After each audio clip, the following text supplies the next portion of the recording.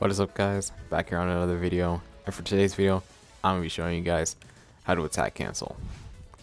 What attack canceling basically is, is using a move as soon as you finish an M1 combo or using a split second before you finish the M1 combo. Like that. Uh, lag spike hit right there. So the reason why it's much more reliable with freezing moves is because they can't block while they're being M1 comboed unless they're just one of those people that will lag out of your combos. After that, you could just pull off another combo.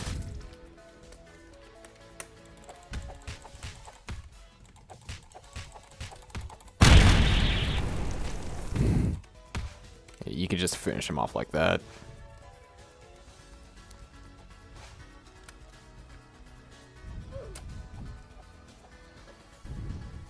You can do this with different characters.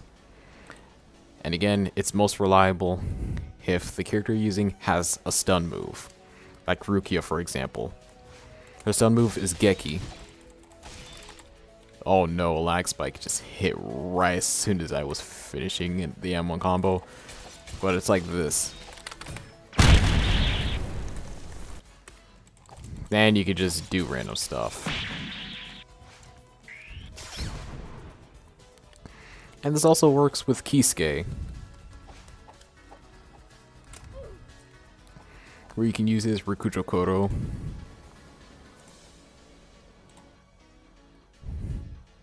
I'm about to show you. Oh, by the way. Kind of related to the video, but not the main topic. This video isn't going to be very long since it's just a small tutorial. But you can do this. And since his stun move takes more time to load, that'll be even better because you can hit them right as soon as the stun move starts to take effect. And you don't only have to do this with stun moves, you can also do it with attacking moves. If you want to see what I did with Ichigo in yesterday's video, you can go ahead and see what I did. But you can do this with Deku. Like that. And this is not attack canceling.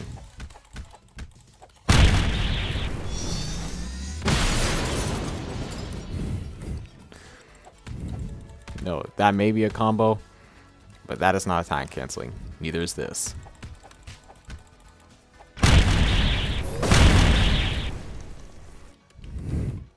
It has to be as soon as you finish the move.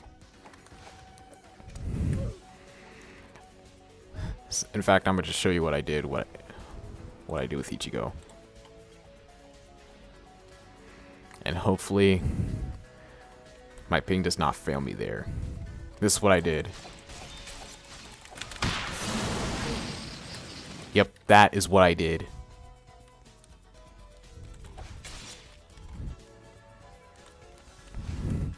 So attack canceling, to be honest with you guys, is pretty challenging if you are lagging. But if you're not lagging, it's still not very easy, but it's a mu it's like much easier if you're just not lagging. But if you're new to the game and you don't really know how to play this, this could be very useful. If you want to like get Kisuke or just any character with stun. This could be very useful to you. So, hope you guys enjoyed the video. Goodbye.